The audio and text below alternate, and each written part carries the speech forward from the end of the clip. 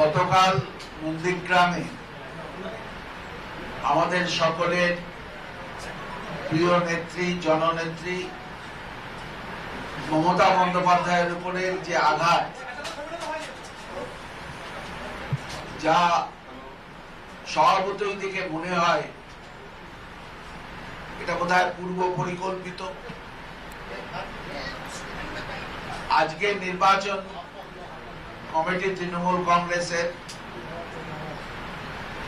তারা বসে এই ঘটনার তীব্র নিন্দা করে এবং যেহেতু নির্বাচন কমিশনের অধীনে নির্বাচন হচ্ছে, আইন শৃঙ্খলার দায়িত্ব তাদের, তারা দেখছেন অবিলম্বে যারা আঘাত করল মমতা বন্দ্যোপাধ্যায়ের উপর, তাদেরকে খুঁজে বের করে, তদন্ত করে যথোপযুক্ত ব্যবস্থা নিতে হবে।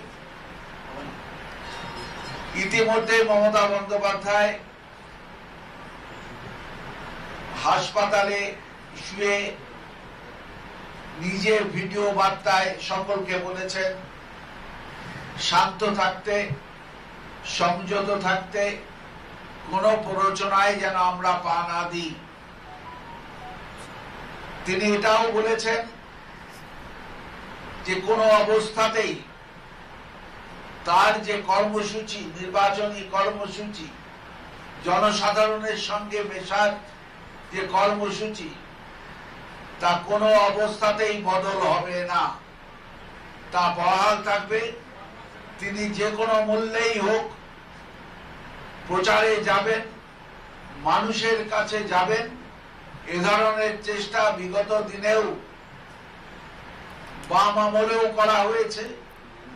এ আমলেও দুষ্কৃতকারীরা, তারা মমতা বন্দ্যোপাধ্যায়ের উপর আঘাত এনেছে।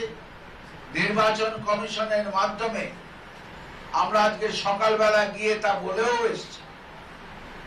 আমরা বলে এসছি যে নির্বাচন কমিশন তাদের দায়িত্ব পাওয়ার পর রাজ্যের প্রথম এডিজি আইন শৃঙ্খলাকে বদল করলেন। তারপর তারা ডিজিকেও বদল করে দিলেন। স্বভাবতই কালকের ঘটনায় সামগ্রিকভাবে পুলিশের ভূমিকার থেকেও বড় হচ্ছে নির্বাচন কমিশনের ভূমিকা। তার জেড ক্যাটাগরির নেত্রীকে সম্পূর্ণ নিরাপত্তাহীনতায় কি করে ভুগতে হলো?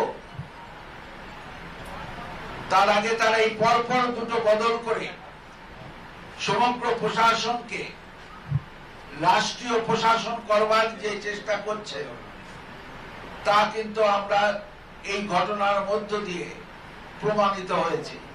সকালে আমি ডেরেকোপায়ন চন্দ্রিমা ভট্টাচার্য, তৃণমূল কংগ্রেসের পক্ষ থেকে রাজ্য নির্বাচন কমিশনে গিয়ে এই ঘটনার পূর্ণাঙ্গ তদন্ত করে নির্বাচন কমিশনকে কেন তারা নিরাপত্তা দিতে ব্যর্থ হলো সে ব্যাপারে তাদেরকে জানিয়েছি।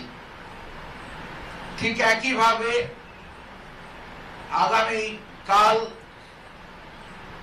দিল্লিতে জাতীয় নির্বাচন কমিশনের কাছে।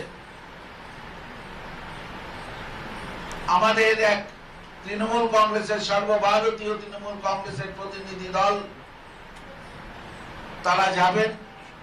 সৌগত রায় ডেরেক ওব্রায়ন কাকলি ঘোষ দস্তিদার প্রতিমা মন্ডল সহ শান্তনু সেন। শান্তনু সেন তারা সবাই মিলে এই প্রতিনিধি দল।